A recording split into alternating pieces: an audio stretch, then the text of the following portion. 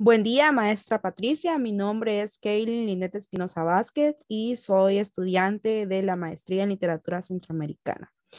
Bien, para este trabajo seleccioné el texto, el libro Jacinta Peralta del escritor hondureño Ramón Amaya Amador. Este es uno de los textos con los que estoy trabajando para poder realizar mi tesis. Entonces, este fue el texto al que escogí aplicarle eh, la historicidad del texto. Para ello, entonces, eh, comencé a empaparme sobre el contexto social que influyó en este escritor. Ramón Amaya Amador nació en el municipio de Olanchito Lloro, en la zona norte de Honduras, en 1916 y murió en 1966 fuera del país. Creció bajo la presión social y económica existente en ese momento de la historia hondureña en todo el país. Se vio obligado a trabajar como regador de veneno en las plantaciones de banano. Eh, las plantaciones de banano eran controladas por las compañías estadounidenses como la United Fruit Company, la Standard Fruit Company y la Coyamel Fruit Company. Estas compañías ah, por concesiones estaban en el país y concesiones que habían dado los gobernantes, entonces estaban en el país explotando, digamos, nuestros recursos y em, vendiendo, vendían, exportaban los bananos. Entonces las personas que trabajaban en estos lugares tenían extensas jornadas laborales y no se veían garantizados sus derechos. De hecho, eh, vivían en situaciones muy, muy difíciles. Eh, eran casi esclavos de, de, estas compañías. Era muy difícil la situación para todas las personas que trabajaban en las bananeras, pero esa era la única forma de trabajo eh, en esta zona donde estaban implantadas las compañías bananeras. Entonces, después de trabajar él en esta de las compañías bananeras, él comienza su carrera como cuentista, narrador y periodista y plasma entonces en sus obras todos esos grandes conflictos de la época que él vivió en carne propia, pero también plasma esa solidaridad e identificación con los intereses de, de las personas más pobres de, del país.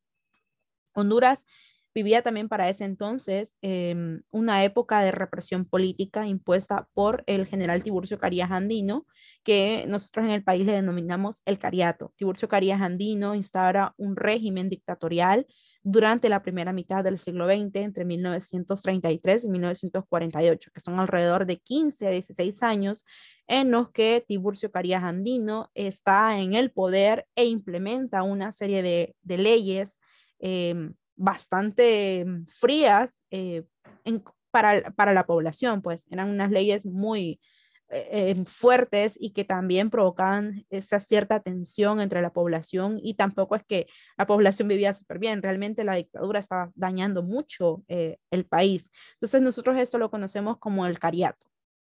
Entonces, pues Amaya Amaya Amador sufre todos estos embates de la dictadura. Él fue encarcelado, fue torturado y tuvo que irse exiliado a vivir a Guatemala, pero no perdió su interés por la, por la escritura y sobre todo em, su, lo que él quería transmitir con su escritura, porque no solamente quería escribir por escribir, sino realmente eh, contar un mensaje y transmitir parte de la historia que se estaba viviendo en el país a través de la literatura.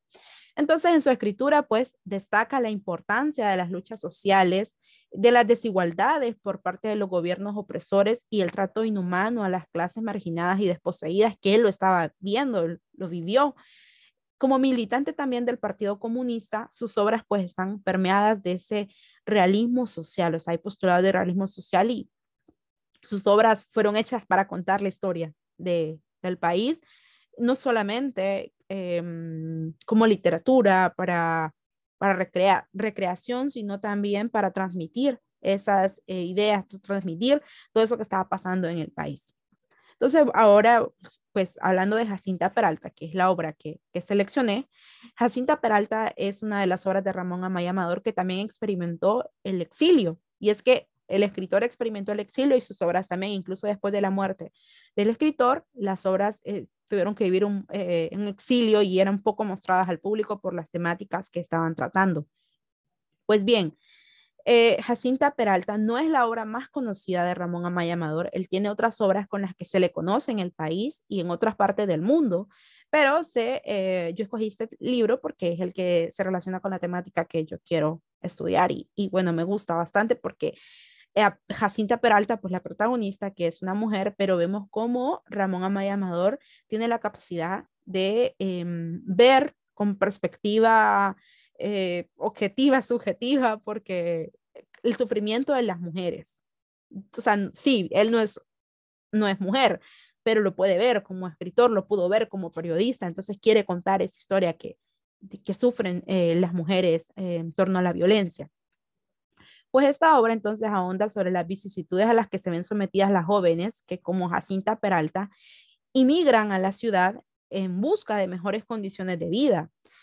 Mejores condiciones de vida porque todo lo que estaban viviendo a causa de las plantaciones bananeras era difícil, entonces la gente veía como la oportunidad de cambiar y tener mejores condiciones de vida si llegaba a la ciudad.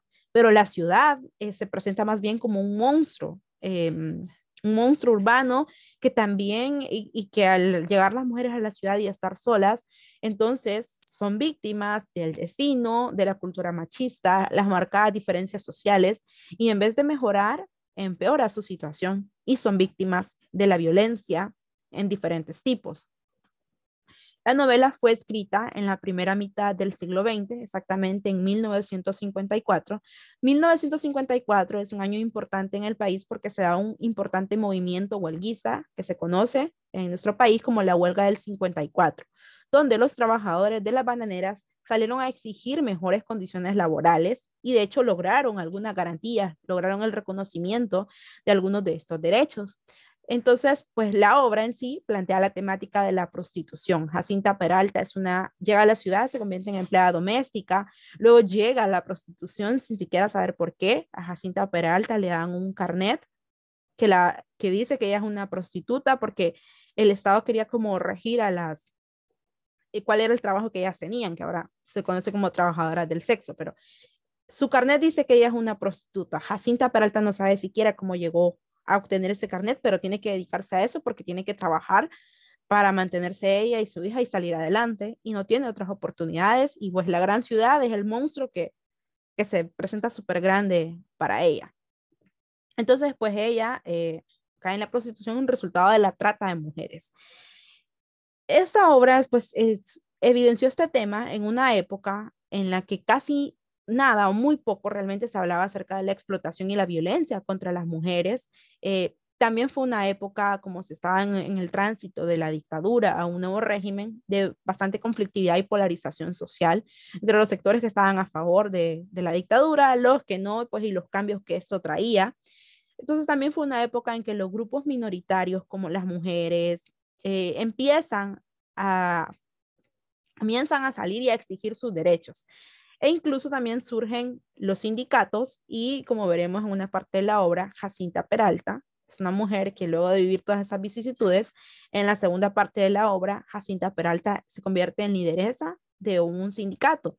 Y sus detractores comienzan a atacarla y decir que, que Jacinta Peralta eh, era prostituta, que se había dedicado a la prostitución y que cómo podía estar ella eh, liderando un sindicato y comienzan a atacar, eh, a, atacar la vida de Jacinta Peralta, pues y, y digamos hacer que, que, el movimiento se debilite, pero pues Jacinta Peralta sigue en pie y pues realmente inicia esta lucha por mejorar las condiciones laborales de la fábrica donde ella trabaja.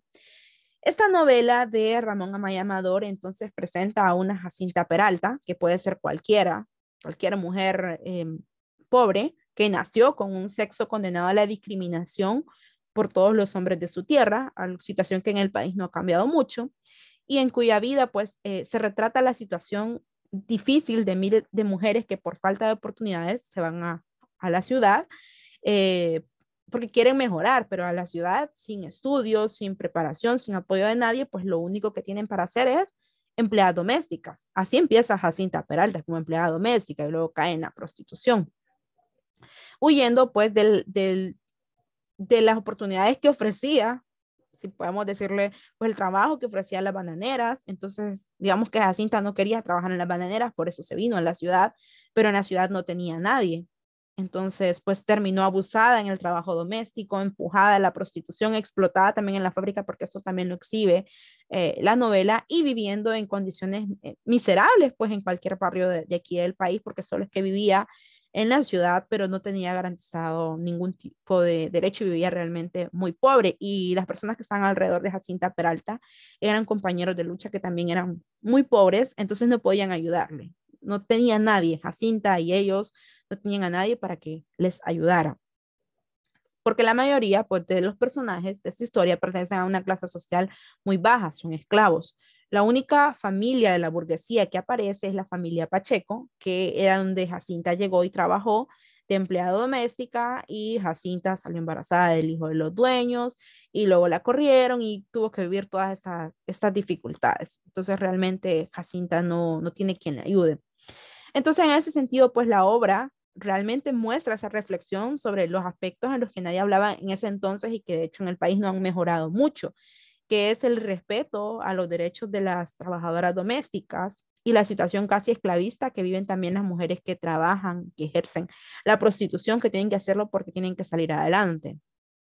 Y pues como reflexión podemos ver que en realidad son tantas las jacintas que aún esto fue en el siglo XX, pero en el siglo XXI siguen deambulando por las calles de la ciudad, eh, en nuestra ciudad, nuestra capital, Tegucigalpa, y donde la gente se viene en busca de mejores oportunidades, pero se esconden todas estas situaciones realmente eh, y para las mujeres la situación es bastante difícil, no ha mejorado mucho. Realmente em, todavía las mujeres seguimos en esa lucha de buscar, de buscar mejores condiciones de vida para, para las generaciones que vienen después de nosotros. Entonces, pues, eh, Jacinta Peralta sí cae víctima de estos rufianes y cae en la, en la prostitución. Y eso es uno de los temas que evidencia Ramón Amaya Amador porque él fue, eh, o sea, eh, tiene orígenes pobres, entonces fue víctima en las plantaciones bananeras. De hecho, tiene una novela que habla más sobre el trabajo que él vivió en las plantaciones bananeras, pero también nos quería, evidenció lo que él miraba de lo difícil que era también para una mujer querer salir de esta situación y querer cambiar las condiciones de vida. creo que para ese entonces también fue muy valiente, em, muy fuerte el hecho de que Ramón Amaya Amador pusiera a una mujer como protagonista de esta novela, que nos contara la historia de una mujer eh, y poder ver todo lo que las mujeres eh, estaban sufriendo y que es la situación de, de, muchas mujeres que también puede verse hoy en día. Entonces sí considero que realmente todo el, el ambiente que vivió Ramón Amaya Amador influyó en su obra, influyó en sus personajes, en todo lo que él quería contar. Eh, es una obra interesante. Yo la comencé a analizar por el, tema de la trata de mujeres, que es mi tema de estudio, la trata de mujeres eh, y cómo se evidencia dentro de la literatura. Jacinta Peralta casi no ha sido estudiada en esa área, sino más bien que Jacinta Peralta era empleada doméstica y cae en la prostitución. Pero yo analizo el contexto de cómo Jacinta Peralta cae en la prostitución y es víctima, pues precisamente de la trata de mujeres.